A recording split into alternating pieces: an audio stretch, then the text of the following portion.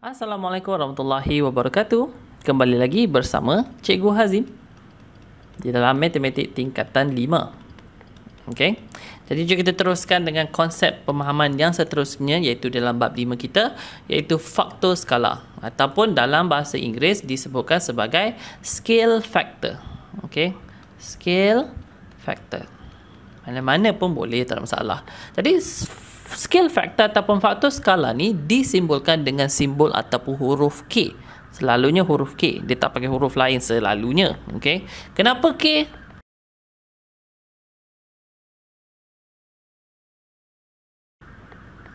Tak kisahlah mana-mana pun boleh je huruf apa pun. Tak kisah. Tetapi selalunya. Okay. Alright. Jadi boleh dirumuskan dia ada formula dia iaitu K sama dengan nak dapatkan faktor skala, formula dia adalah panjang image bahagi dengan panjang objek.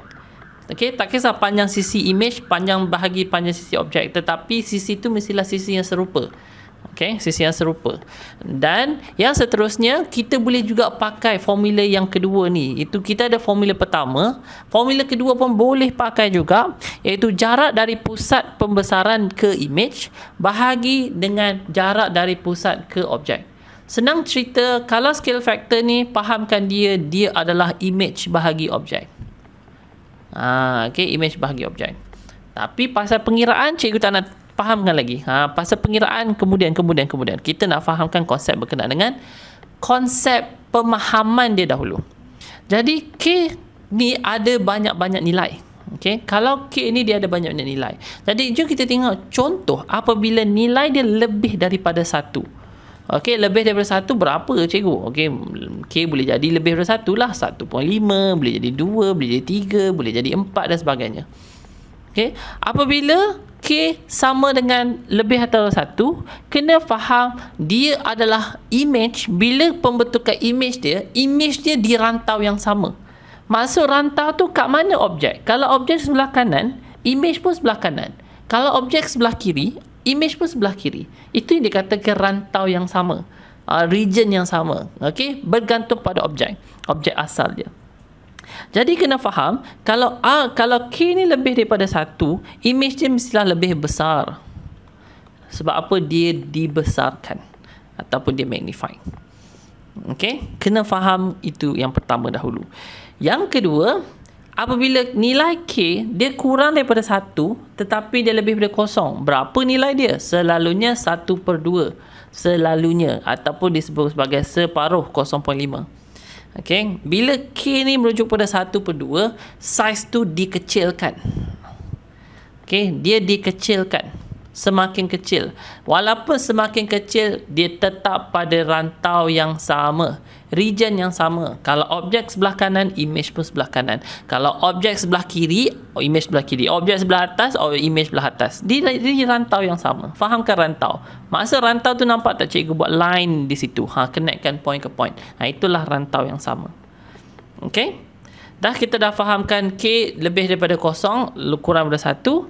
Jadi kita tengok kepada yang seterusnya iaitu nilai K dia kurang daripada kosong tetapi dia, dia mestilah macam mana kata dia kurang daripada kosong tapi dia lagi tinggi daripada uh, negatif satu. Berapa region dia ni? Region dia adalah daripada kosong hingga ke uh, satu Okey, negatif 1.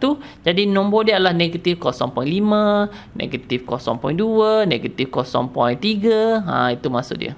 Tapi selalunya adalah negatif 0.5. Selalunya. Bila sebut saja pasal negatif, ah bila sebut saja negatif, line dia tu, line dia ni kena panjangkan dan dia di berlawanan. Dia kena dia kena rantau yang berlawanan. Okey, ataupun di kawasan yang berlawanan. Kalau yang ni kanan, yang sebelah lagi kalau negatif masuk ke kiri. Kalau yang positif di atas, negatif di bawah.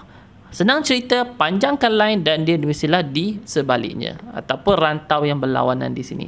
Dan bila kurang daripada, bila lebih daripada negatif 1, dia nilai dia 0. something something something, 0.0 something ke apa ke, nilainya tetap, image mestilah tetap lebih kecil. Okay. Dan jom kita tengok yang terakhir di sini iaitu K dia nilai dia lebih daripada kurang daripada negatif 1. Maksudnya nilai K dia boleh jadi negatif 2, negatif 3, negatif 4, negatif 5 dan sebagainya boleh jadi. Okay. Jadi konsep yang sama image di rantau yang berlawanan bila ada saja negatif di sini right bila berlawanan bermaksud negatif bila ada saja nilai negatif di masa berlawanan dan image lebih besar. Jadi itu adalah konsep utama yang untuk anda difaham berkenaan dengan faktor skala ni dahulu. Pengiraan kemudian nanti kita masuk pada pengiraan. Okey. Jadi itu saja untuk video cikgu kali ini. Nantikan video cikgu untuk hari yang berlainan dan itu saja. Terima kasih. Kita jumpa lagi. Bye bye.